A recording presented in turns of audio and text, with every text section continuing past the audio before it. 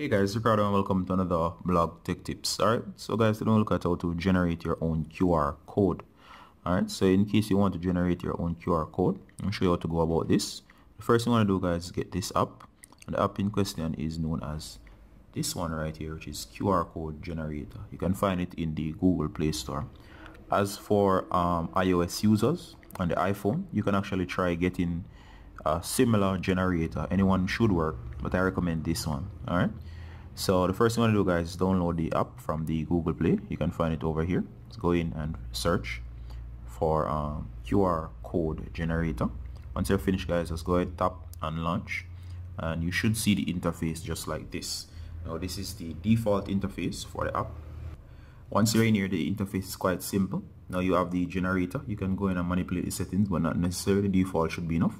You can choose the style of QR code that you want. You can go for the traditional QR code. If you don't like the traditional QR code, you can fancy it up with this one that looks like a Android guy. Or you can actually go for the book or the moving truck or the projector screen showing the QR code. Now all of these are the same. The key part is actually the QR code that's at the center here.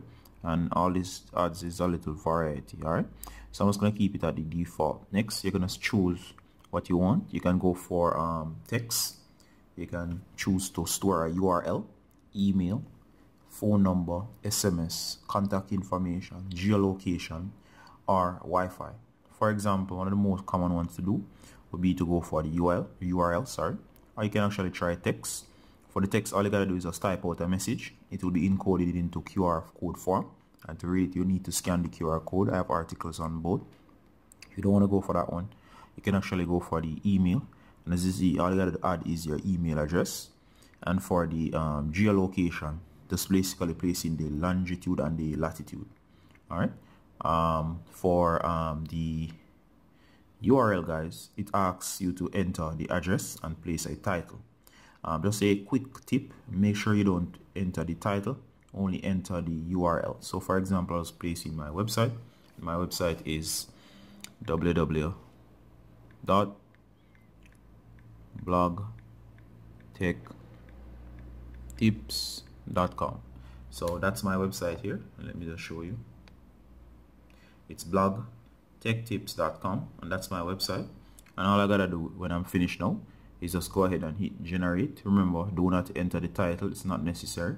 You just go ahead and hit generate and there you go. That is the QR code for my website. You can actually scan this right now it will take you to the website www.blogtechtips.com once you're connected to the internet. Alright you can actually just go ahead and hit the save button. And once you do that it will tell you it's save you hit ok. And of course you can share if you want to. And it gives you a number of options. I won't share. And of course if I go back and so on I can actually go into the list right here and you'll see all of my um, QR codes. You can store text as I showed you here. You can store text or you can actually store URLs as I've shown over here and you can actually save or you could just screenshot this or just send it from here which is quite um, simple. So guys that has been how to actually generate your own QR code using the simple Android app QR code generator which is a great app for you guys to actually try out to generate your own QR codes. This is Ricardo from Blog Tech Tips saying bye until next time guys. Bye.